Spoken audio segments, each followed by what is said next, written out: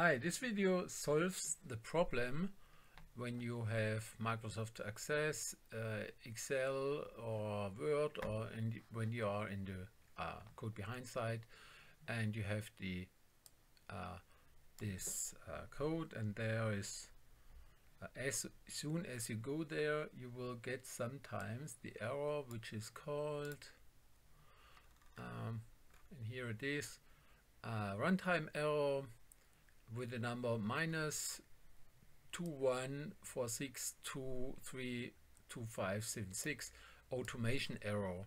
And this error is whenever you come to a line which is called something like this system text UTF encoding something like this. So the uh, solution is quite simple. What you have to do you have to go into your Windows 10 system. You're typing in there features then you will find the Windows features activate and deactivate.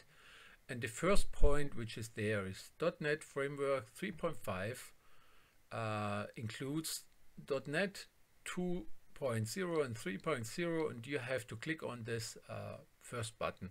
There are some sub items but they are not important. Then you say OK and after this there will come a small message which says okay uh, Windows up, uh, update uh, will download the files.